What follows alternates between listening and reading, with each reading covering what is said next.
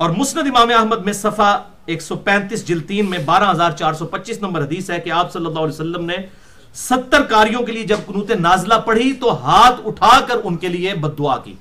तो कुनूत नाजला में आप हाथ भी उठाएँगे, चाहे रुकू से पहले करें या रुकू के बाद, कुनूत नाजला की बात कर रहा हूँ। हाथ उठाएँगे।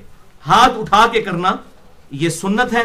और जब आप हाथ उठाएँगे तो जर्नल हदीस याद कर लें अल मुस्तदबिल हाकिम में मौजूद है, सही सनत के साथ। एक हज़ार आठ सौ बत्तीस नंबर के आप सल्लल्लाहु अलैहि वसल्लम ने फरमाया तुम्हारा रब करीम है, हया फरमाता है उस शख्स से कि जो शख्स हाथ उठाकर अल्लाह के हजूर दुआ करे तो अल्लाह हया फरमाता है, उसको महरूम नहीं लुटाएगा। अल्लाह हया फरमाता है कि मैं उसे महरूम लुटा दूँ जो हाथ उठा के दुआ करे।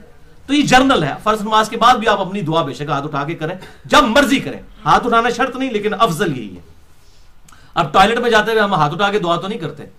या आप खाना खाने से पहले यूँ तो बिस्मिल्लाह रहमान रहीम नहीं पढ़ते।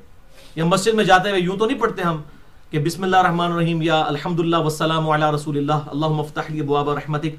तो हम हाथ उठा के तो नहीं मांगते। हाथ उठा के अफजल ज़रूर है, वो उस हदीस की वजह से।